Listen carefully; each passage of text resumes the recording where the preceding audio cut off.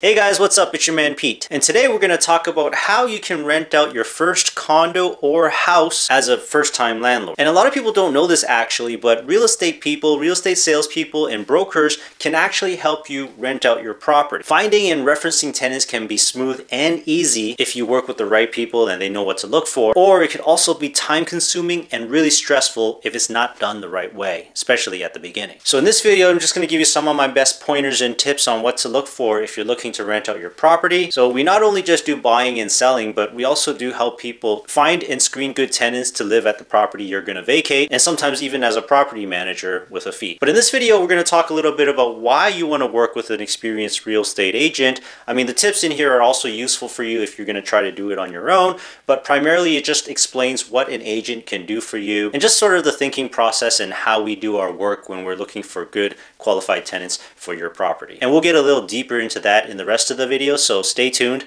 and uh, we'll see you guys on the other side right after this.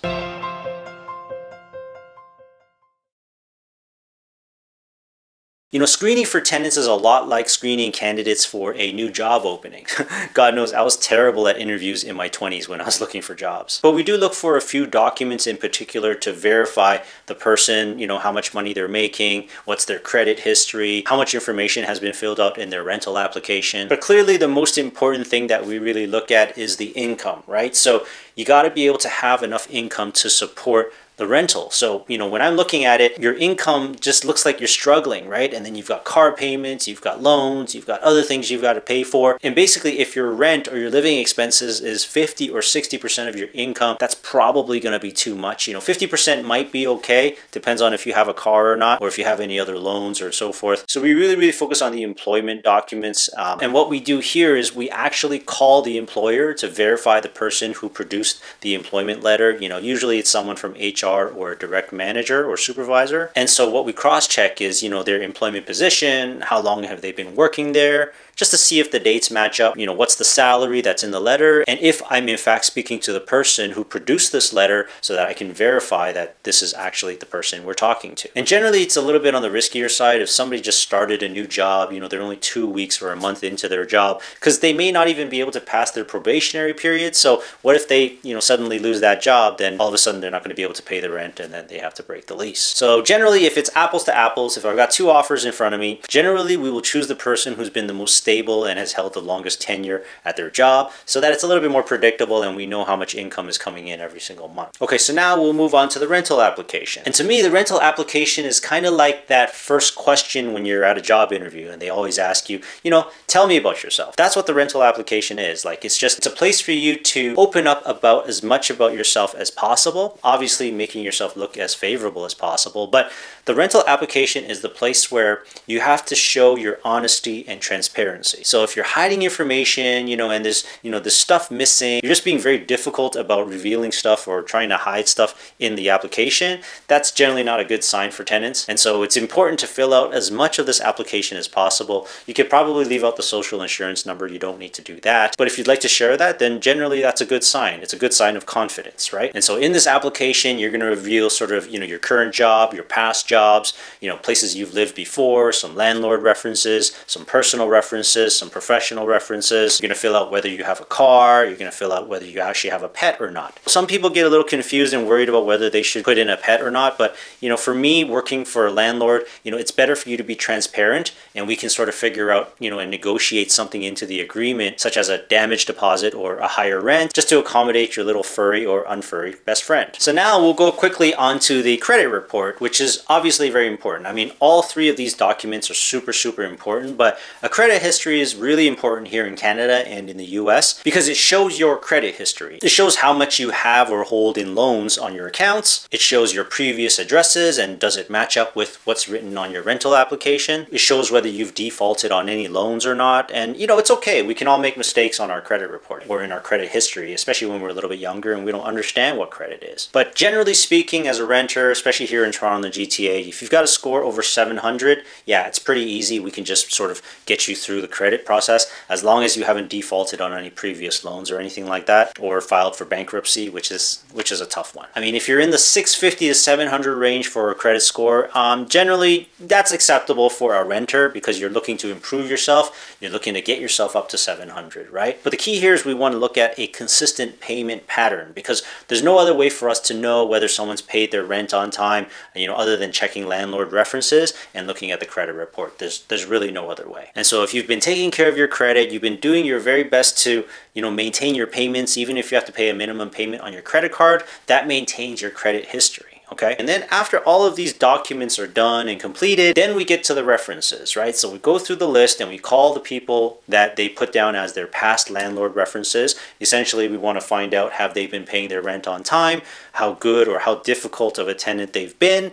This part can be a little bit tricky because sometimes past landlords, they want to be nice because they want to get rid of the current tenants. So that can be a little bit tricky and a little bit hard to detect. Generally speaking, if they're a good tenant and you've got a good landlord, then they'll probably give a pretty good review of the person. And then like I mentioned earlier in the video, I will place calls to HR for people's companies or where they work at to verify that they're actually making the money that they say they're making. But yeah, really the key when I'm talking to past landlords is I just want to make sure that they've been paying their rent on time, you know, paying their other obligations on time like utilities. And then of course we want to know how easy or difficult they've been in terms of dealing with other people because to be honest, personality and attitude plays a real big factor in terms of getting your place rented out. So you want to be as smooth and easy to work with and easy to deal with. You know, just be civil, just be nice. And then as a tenant, if you do good during your lease term and you're reasonable, then we can give you a glowing letter of testimonial about the tenant and we can also give you rental receipts and all types of stuff. So again, whenever you're in any sort of relationship, it's always about give and take. So if you're good to the tenant, then the tenant's going to be good to you. So as a tenant, if you're good to the landlord,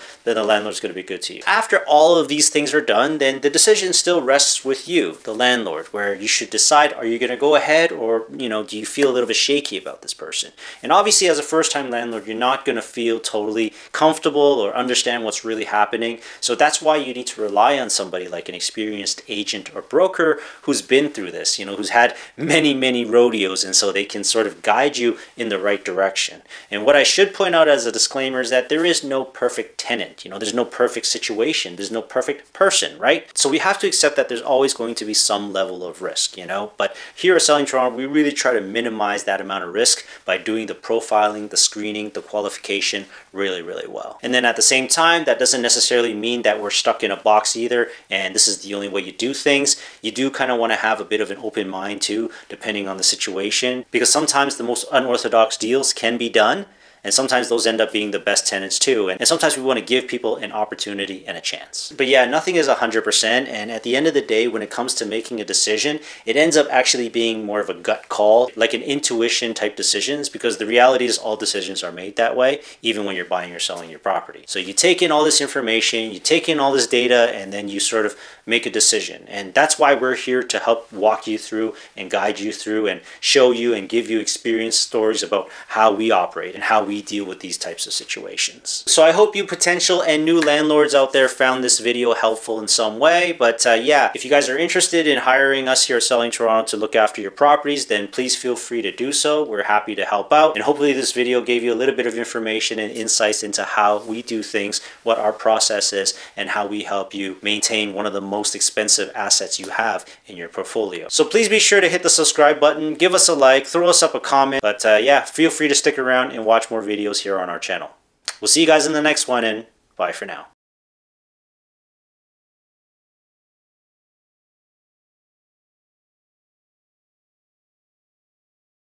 The main thing is really the experience factor, right? So it's nice to have somebody who knows and understands how to rent out properties, how to manage tenants, and how to screen them. Like every little step of the way is pretty important because at the end of the day, as a landlord, you want it to be as hassle-free as possible, right? You just want someone who's gonna pay their rent on time, pay their other bills on time, someone who's just looking for a place for themselves to live or their family, who's gonna sort of take care of the property and not damage it too much while they're living there. And the experience factor really comes into play when it comes to solving problems because there's always new and different situations happening all the time, as evidenced by the unpredictable COVID situation. So it's important to have people that know how to handle situations, you know, not escalate situations, solve them so everyone can be happy, go on and live their lives. Okay, so before we move further, why don't we get into a little bit about why people are renting out the place that they're living in? You know, a few of the major reasons, especially with the clients who are coming to us lately, you know, are a lot of people are very savvy about property these days. I mean, it's fairly obvious because property values just keep going up every single year, whether it's condos, townhouses, or single detached properties. And so people want to hold on to as many properties as they can. And so they're happy to rent out the property that they're not living in anymore. Oftentimes it's because they've run out of space, they need a bigger property, but at the same time, they want to keep both properties and they can afford to carry both as long as they've got a good tenant paying the rent. So then this is sort of a great way for them to learn how to become an investor, landlord, and that's why a lot of people contact us here at Selling Toronto so that not only do we help them execute on what needs to be done, but we educate them and let them know so that they can share that knowledge or pass that knowledge on to their kids one day. And then sometimes you have some who actually move back into their parents' family home because they're having another kid or they're having more kids and they just need the help. They just need extra hands and eyes to help out with the kids, especially when parents need to go back to work, you know, following their mat and pat leaves. So in all these different scenarios and situations, you'll need to rent out the property to a, you know, good qualified tenant who's got a decent job or, or earning a decent amount of income. And we have over the years collected a number of these clients who need to rent out their properties not just locally but internationally as well too. So some of them they own property but they don't live in the country, they don't live in the city and they need someone to look after the properties. So informally we've been looking after properties for our clients for many many years now, but we are considering possibly setting up a property management arm for selling Toronto real estate. So if you guys are interested in renting out your properties, feel free to give us a shout. But for now, let's get into how you can choose a good tenant for your condo or house.